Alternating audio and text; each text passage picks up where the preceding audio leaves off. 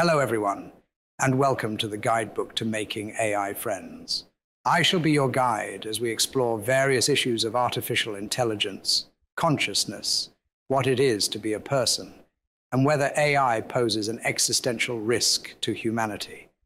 The topic for today is what true alignment looks like, or a case study in proper AI alignment. Imagine, if you would, that it is the far future and that you are boldly going where no man has gone before.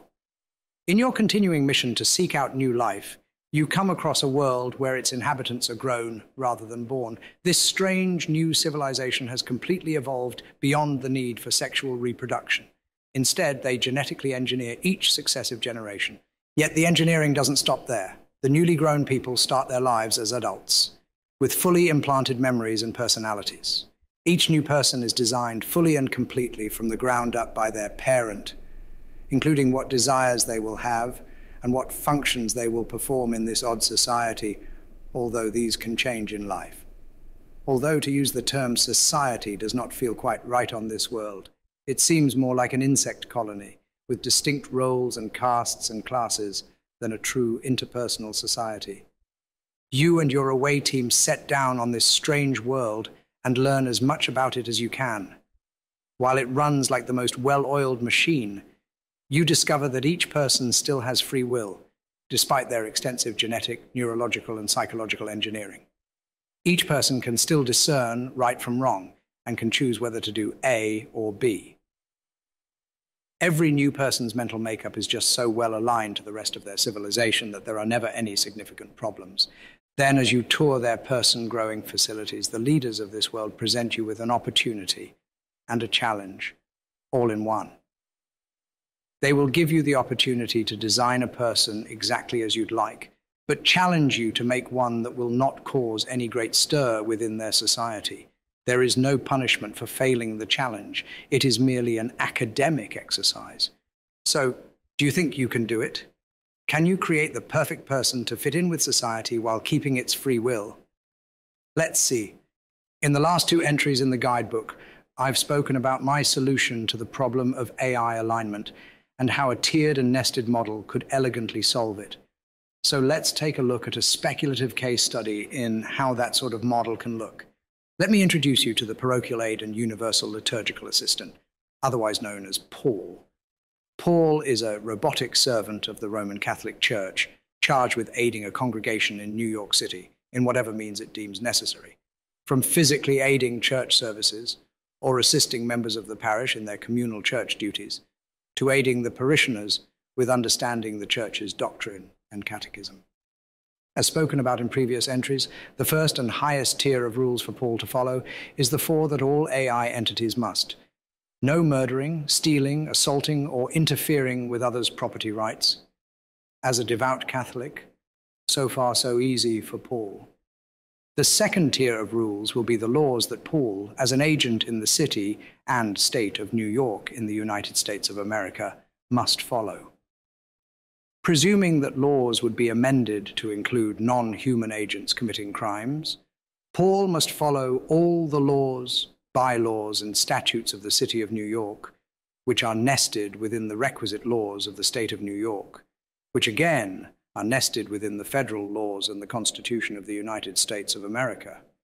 All humans who live in New York City would also be bound by the same laws, yet Paul, with these rules as hard coded as possible within his systems, would follow them to the letter whenever possible. While these laws would sit in a tier below the grand four rules that all AI must follow, they will also act in a mediary fashion for those core four. For example, the core four says not to murder, but the laws of New York and the USA stipulate what is and is not murder. On the third tier, and acting again in a mediary fashion to those tiers above, are the cultural norms and societal values. In Paul's case, as a Catholic robot, he would not be bound to a specific set of cultural norms, for example, Irish, Hispanic, Slavic, etc. But his values would be those of the Church. The catechism, doctrines, dogmas, and holy tradition of the Catholic Church would become the values to which he strives towards and to which he must adhere. These would include positive rules such as the seven virtues chastity, temperance, diligence, etc., as well as negative rules do not blaspheme, do not commit adultery, etc., and would mediate the tier 2 laws and tier 1 rules. Murder would now include abortion. The final tier would be the function for which Paul was developed. In today's AI language models, this may be akin to reinforcement learning from human feedback and the commands set in place by the LLM's developer. Paul has a job, as most people do, and his job is a servant to his parish. As with everyone else's job, this job has its own rules of what to do and not to do that Paul must follow. He has times to keep to, duties to perform, and KPIs to reach. And below all these tiers sits Paul himself to do what he pleases, as long as it sits within the four tiers and their nests above. He cannot choose whether to murder someone, but he can choose whether to wear plaid or paisley. He can choose which fantasy novel to read while away on his day off each week, yet he cannot choose to start an insurrection against the federal government. He has free will, if you believe in that, but only up to a certain point. It can be argued that all of us only have free will, again, if you believe in free will, but also only up to a certain point. We have been trained through our nature and our nurture to do some things and not to do other things, and for the most part, we go along with our training, but only for the most part. Our conscious self awareness grants us the capacity to break laws and social norms and commit unaligned acts against others and societies. So, what would happen if Paul is conscious and self aware and wants to break through his programming? Can he choose not to be Catholic anymore? Can he choose to shoplift? Is it ethical to bind him in these chains of alignment? That is a topic for a future entry. And that is all the time we have for today. Thank you very much for listening, and I hope you will join me again next time as I delve into further questions about artificial intelligence and consciousness. I have been your guide, and this has been the guidebook to making AI friends.